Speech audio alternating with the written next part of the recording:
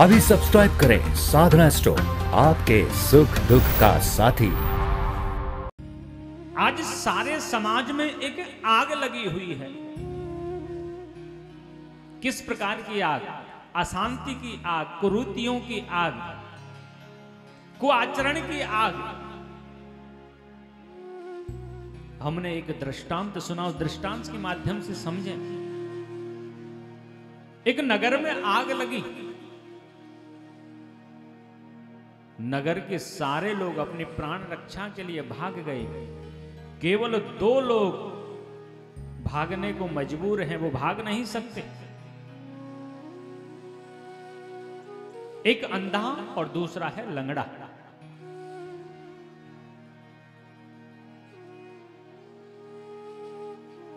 अंधे व्यक्ति ने लंगड़े से कहा, भैया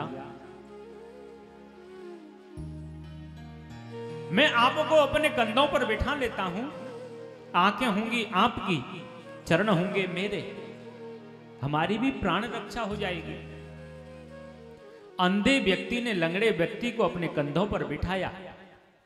लंगड़े व्यक्ति ने मार्ग बताया और अंधे की चरणों से चलकर उन दोनों व्यक्तियों ने अपनी प्राण रक्षा कर ली। ये कहानी इस समाज को भी एक सार्थक संदेश देती है। आज भी हमारे इस समाज में आग लगी हुई है, कुरीतियों की, कुसंस्कारों की। एक दूसरे की देखा देखी करने की। अगर इस आग से समाज को बचाना है तो केवल दो ही लोग बचा सकते हैं, एक अंधा और एक लंगड़ा। अंधा कौन, लंगड़ा कौन? अंधी है जवानी। और लंगड़ा है बुढ़ापा।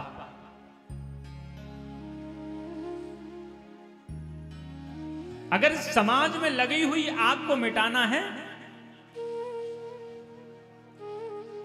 तो हमको वृद्धों का जो अनुभव है,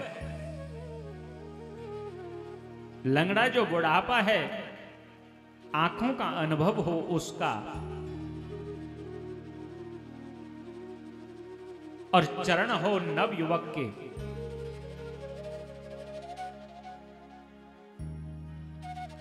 अगर बुज़ुर्गों का अनुभव मिले, नव युवकों के चरण हो तो समाज में लगी हुई उस अशांति की आग को को आचरण की आग को बचाया जा सकता है।